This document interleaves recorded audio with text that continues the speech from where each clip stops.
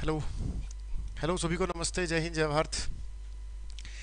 एक live session में आया था मैं तीन चार दिन पहले कि, जिसमें हम सब इंस्पेक्टर के बारे में ज़िक्र कर रहे थे, और लाइव में बता नहीं पाया था। लगभग पैंतालीस मिनट की वीडियो चलेगी, क्योंकि बच्चे कमेंट करते हैं तो कमेंट पे ध्यान चला जाता है। ठीक है, इसलिए मैंने रिकॉर्डेड वीडियो बनाई है कि हम किस तरीके से हरियाणा पुलिस सब इंस्पेक्टर में अच्छी तैयारी कर सकते हैं, और आने वाला जो एग्ज़ाम होगा सब इंस्पेक्टर का तो उसके बारे में डिटेल करते हैं। हमारे पास 400 वैकेंसी है, ठीक है, अभी तक, और री एड होगी। 90 परसेंट री एड होगी। री एड होगी तो यहाँ पर पोस्ट हो जाएँगे आपके लगभग 550 ठीक है ना? 150 प्लस पोस्ट और री एड होने के चांस है, ठीक है? जो बच्चा सब इंस्पेक्टर की तैयारी कर रहा है, उसको सब इंस्पेक्टर एग्ज़ाम के ये सोच के अपने मन में फोबिया नहीं करना है कि सब इंस्पेक्टर का एग्ज़ाम है तो पता नहीं बहुत बड़ा एग्ज़ाम होगा बड़ी बड़ी या फिर मार्केट में इस तरीके की परसेप्शन आएँगी कि पोस्ट बिकती हैं इतने लाख रुपए की, क्योंकि जिन लोगों को कुछ नहीं करना होता, वो क्या करेंगे? कुछ ना कुछ तो करेंगे।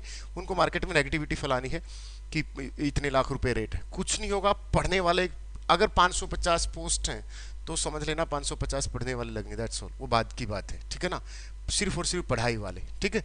जो बच्चे जर्नल तैयारी करते हैं, जैसे सीजीएल की मोस्टली लगते हैं सब इंस्पेक्टर देख लेना हरियाणा में पिछली वैकेंसी उठा के देख लो, जो बच्चे सीजीएल की तैयारी कर रहे थे, फटाक देख लगे हैं।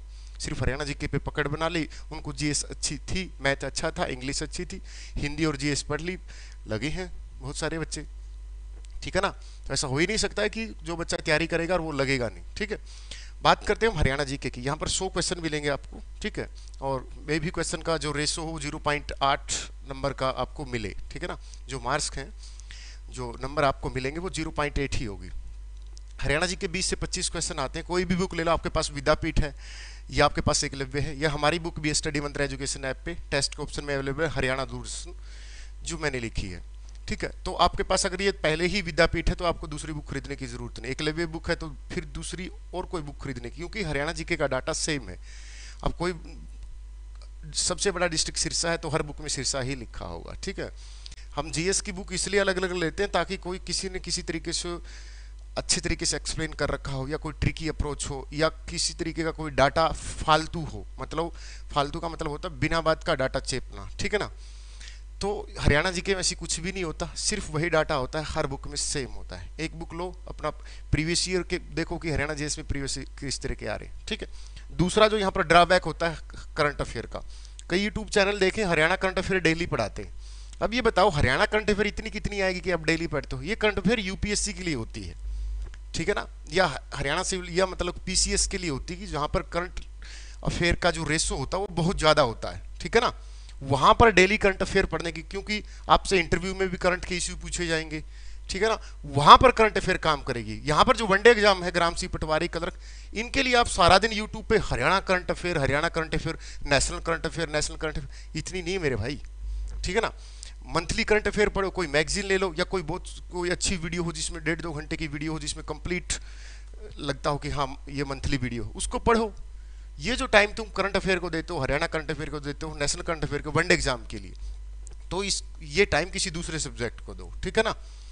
तो फिर आती साइंस साइंस जैसे पिछले एग्ज़ाम में देखा था कलरक में कि बहुत ज़्यादा अच्छे लेवल की दे दी। मतलब केमिस्ट्री की रिएक्शंस दे दी या फिजिक्स का न्यूमेरिकल दे दिया या मैथ का उन्होंने टेक्निकल मैथ दे दिया मैट्रिक्स दे दी इंटीग्रेशन से दिया डिफरेंशियल इक्वेशन दे दी। तो लेकिन ऐसा हर बार नहीं होगा, ठीक है ना? और उम्मीद करते हैं कि ऐसा अगली बार ना होगी, सब इंस्पेक्टर के एग्ज़ाम में या कॉन्स्टेबल के एग्ज़ाम में ऐसा कुछ आए, ठीक है ना?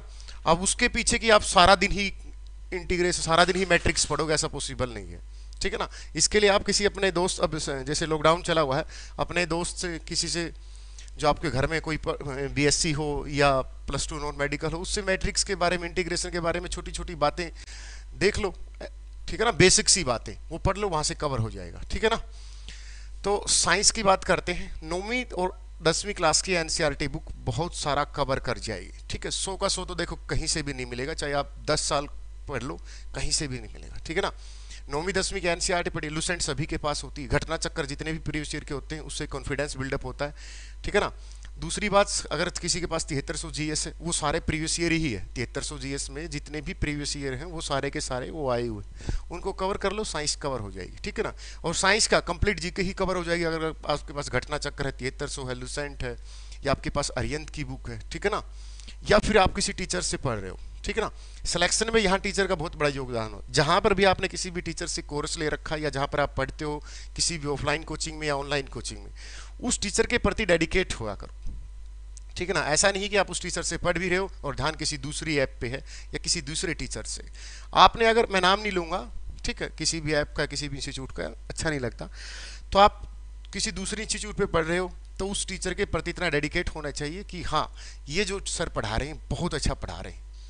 ठीक है ना? इतना कॉन्फिडेंस आएगा धीरे धीरे तो अब प्रैक्टिस करोगे, गलतियों को पता चलेगा। ठीक है ना? यहाँ हम गलतियाँ करते हैं, खूब सारी। ठीक है ना? अब रेसर कितने, सारा दिन जो रेस लगाते हैं आर्मी की तैयारी करते हैं, खूब प्रैक्टिस करते हैं, तभी तो जाके वो रेस लगा पाते हैं। हम यहाँ पर प्रैक्टिस ही नहीं करते। हम पढ़ते हैं पढ़ते हैं पढ़ते हैं। डाटा नोट्स डाटा नोट्स इन चीज़ों पे ध्यान रहता है रजिस्टर फिल करने पे। ठीक है ना? क्वांटिटी की बजाय क्वालिटी पे ध्यान देना बेसिक से दो घंटा पढ़ लो। ठीक है ना? हमें ये नहीं देखना कि हमें छः घंटे पढ़ना है, दस घंटे पढ़ना है। हम जो दो घंटे पढ़ेंगे, मस्त पढ़ेंगे, बाकी जाए बाईस घंटे मज़े में। ठीक है ना? तो यहाँ ज़्यादा की बजाय कम हो, लेकिन क्वालिटी हो कि हाँ मैंने जो पढ़ा है, मैंने अभी एक टॉपिक ख़त्म किया है कि भाई मैंने पढ़ा है, अभी कोई भी टॉपिक जैसे साइंस का उठा लो, भाई मैंने अभी पढ़ा है, कोई भी जैसे श्वसन तंत्र, ठीक है ना? तो मैं श्वसन तंत्र का कुछ भी पूछे, सब कुछ बता दूँगा। ठीक है ना? अगर आपने कोई भी टॉपिक पढ़ लिया, बीच में आपने मेडावल हिस्ट्री में आपने मुगल साम्राज्य पढ़ लिया तो आप बिना देखें हाथ से मुगल साम्राज्य की सारी बातें लिख को ठीक है ना? कि मुगल साम्राज्य में ये हुआ था, यहाँ से शुरुआत हुई थी, इतने राजे आए थे बीच बीच में ये आया था, इस राजा ने जजिया कर शुरू किया था, इसने बीच में ख़त्म करने की कोशिश की थी, इसने इस प्रथा पर ध्यान दिया था, इस राजा ने वहाँ पर नहर का निर्माण करवाया था, बिना देखे हाथ से लिख्स को आधे घंटे में ले भाई मुगल साम्राज्य। तो उस समय समझ लेना आप अच्छी तैयारी में हो। ठीक है ना? उसके बाद आपको दोबारा मुगल साम्राज्य पढ़ने की ज़रूरत नहीं कभी टाइम लगा आधे घंटे रिवीजन कर लिया दैट्स ऑल ठीक है ना? मैथ मैथ के बारे में बात करते हैं मैथमेटिक्स यहाँ पर इतनी हाइपर होने की ज़रूरत नहीं कि हर बार आपको मैट्रिक्स ही पूछेगा इंटीग्रेशन ही पूछेगा नहीं। आर एस अग्रवाल या शारदा पब्लिकेशन या और भी कोई मैथ के टीचर हैं ठीक है? जिस टीचर से आप पढ़ रहे हो उस टीचर के कंटेंट पे फोकस करो। मैथ्स में अगर दस क्वेश्चन है तो आठ नौ कवर कर जाओगे एक दो ऐसा आए ही अटपटा आएगा तो आएगा वरना आप कवर कर लोगे अगर अच्छे से आपने एक, एक भी मैथमेटिक्स की पूरी बुक आपने अच्छे से कवर की है। ठीक है ना? बेसिक यहाँ पर इस तरीके से ध्यान मत दिया करो कि ट्रिक पे ध्यान जाए, इस पे जाए। ठीक है ना? और इंग्लिश की बात करते हैं चार पाँच क्वेश्चन आते हैं। प्लेन टू पैरामाउंट की जो मैडम की बुक होती थी, नीतू की केडी कैंपस वाली की, उस बुक से इंग्लिश कवर हो जाती है एचएससी की। ठीक है ना? एसएससी सीजीएल की तो अब नहीं होती, वो पहले ज़माने थे। 2013-14 की बात है, जब उससे कवर हो जाता था। वनडे एग्ज़ाम में जैसे, यहाँ हरियाणा में एचएससी में, वो नॉर्मल इंग्लिश पूछता, उस बुक से कवर हो जाती है। या आर एस उसकी, अरियंत की भी आती है इंग्लिश की, उससे भी कवर हो जाती है। यहाँ पर इंग्लिश के लिए इतनी हाइपर होने की ज़रूरत नहीं, ठीक है? हिंदी हिंदी में जब बात करते कि हिंदी की, सर, हिंदी ग्राम सी में पूरी लिटरेचर आया था, हर बार थोड़ा कि हर बार वो लिटरेचर पूछेगा, ठीक है ना? ऐसा कुछ भी नहीं है कि वो लिटरेचर पूछेगा। हिंदी लुसेंट की आती पतली सी बुक उससे आपकी कवर हो जाएगी, पूरी की पूरी, ठीक है ना? अगर उसने संधि पूछी, समाज पूछी, अलंकार पूछा, ठीक है ना? पर्यावाची पूछा शुद्ध अशुद्ध पूछा वहाँ से आपको कवर कर, हो जाएगी अगर आप अच्छे से ईमानदारी से पढ़ोगे और अपने टीचर के कंटेंट को बार बार रिविजन करोगे, ठीक है ना? तो हरियाणा पुलिस सब इंस्पेक्टर की भर्ती पे पूरे डेडिकेट होकर जुड़ जाओ, क्योंकि ये पैसा पहली बार हुआ कि लगातार दो वैकेंसी आई वरना दस दस साल आठ आठ साल वेट करना पड़ता था बच्चों को। और बहुत सारे ऐसे हैं जो बीच में से ओवरेज हो जाते थे, एक भर्ती से नहीं हो पाया तो ओवरेज हो जाते थे। तो आपके पास गोल्डन चांस है, इस भर्ती के लिए पूरी तैयारी कीजिए, ठीक है ना? और कमेंट सेक्शन में अपने अपने वीकनेस लिखिए, ठीक है ना? कि सर, मेरा ये सब्जेक्ट वीक है, ताकि उस सब्जेक्ट की मैं मेरी तरफ़ से आपको कोई बुक रेफर कर सकूँ, ताकि क्या पता अनजाने में किसी आदमी का भला हो जाए, ठीक है ना? तो कमेंट ज़रूर कीजिए, और जो बच्चे स्टडी मंत्रा से जुड़े हैं, वो भी अपने रिव्यू दीजिए कि आप कैसे लग, आपकी पढ़ाई किस तरीके से चल रही स्टडी मंत्रा पे, ठीक है? तो जो बच्चे पहली बार इस वीडियो को देख रहे हैं, नीचे डिस्क्रिप्शन में स्टडी मंत्रा एजुकेशन ऐप का लिंक है download the study Mantra education app ठीक है ना? आइए सपनों को उड़ान देते हैं, लेकिन मेहनत के साथ, ठीक है ना? झूठी फीट, पीठ थपथपाना गलत बात, ठीक है ना? मेहनत करनी पड़ेगी, सुबह नौ से लेकर रात के आठ, नौ बजे तक, दस बजे तक पढ़ना पड़ेगा, ठीक है ना? ऐप पे, जब तक आपका सिलेबस कवर नहीं हो जाता, ठीक है? जय हिंद, जय भारत।